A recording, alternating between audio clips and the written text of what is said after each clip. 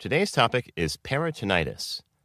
Peritonitis is the inflammation of the peritoneum, the tissue that lines the inner abdominal wall and covers and supports the organs within the abdomen. The peritoneum is a membrane made up of two layers. One layer lines the cavity, and the other layer lines the organ.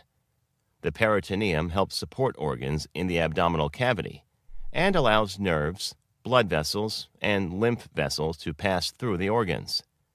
Peritonitis is a serious and urgent condition that requires immediate treatment. If left untreated, peritonitis can lead to severe, potentially life threatening infection throughout the body. There are two types of peritonitis secondary peritonitis and spontaneous peritonitis. It is secondary if it develops when an injury or medical condition in the abdominal cavity allows infectious organisms into the peritoneum, and spontaneous if the infection arises from fluid buildup in the abdominal cavity. Causes The inflammation usually results from a fungal or bacterial infection. In most cases, the infection is caused by a rupture within the abdominal wall. In rare cases, the condition can develop without an abdominal rupture. This type is termed spontaneous peritonitis. The following are causes of secondary peritonitis. A ruptured appendix, perforated colon, a stomach ulcer, abdominal trauma or injury, digestive diseases such as Crohn's disease or diverticulitis, pancreatitis, ingestion of a sharp foreign body such as a toothpick, fishbone, or glass shard invasive medical procedures, including peritoneal dialysis, use of feeding tubes, pelvic inflammatory disease, surgical wound. The common cause of spontaneous peritonitis results from a complication of liver disease, such as cirrhosis. In its advanced stage, cirrhosis causes a large amount of fluid buildup in the abdominal cavity. Non infectious cause of the condition includes leakage of fluids into the peritoneum, such as blood, gastric juice, urine, bile. The following may increase your risk of getting the conditions. A previous history of the condition, history of alcoholism, weakened immune system, fluid accumulation in the abdomen, liver disease. Symptoms. Fever and chills abdominal pain or tenderness, abdominal bloating, abdominal distension, nausea and vomiting, diarrhea, minimal urine output, excessive thirst, fatigue, constipation or inability to pass stool or gas.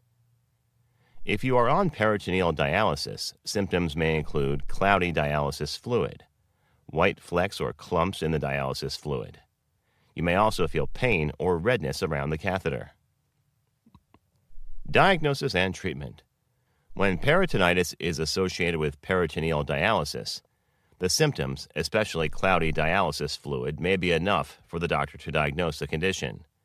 If otherwise, the doctor will ask you about your medical history and perform a complete physical exam, including assessment of tension and tenderness in the abdomen. Diagnostic tests for peritonitis includes blood tests to check for a high white blood cell count, imaging tests such as X-ray to check for holes in the gastrointestinal tract. Ultrasound may be used, and in some cases, the doctor will use a CT scan instead of X-ray. Peritoneal fluid analysis, where a sample of the fluid inside your peritoneum is taken, especially if you receive peritoneal dialysis or have fluid from liver disease. The fluid may show an increase in white blood cell counts if peritonitis is present. Treatment The first step in treating peritonitis is determining its underlying cause. If your condition is the secondary type, hospitalization may be needed.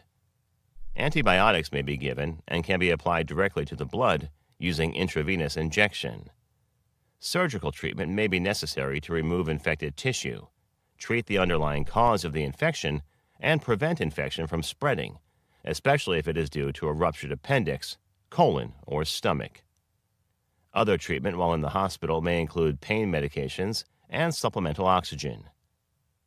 For individuals undergoing peritoneal dialysis, The doctor may recommend that dialysis is given in another way for days while the body heals from the infection.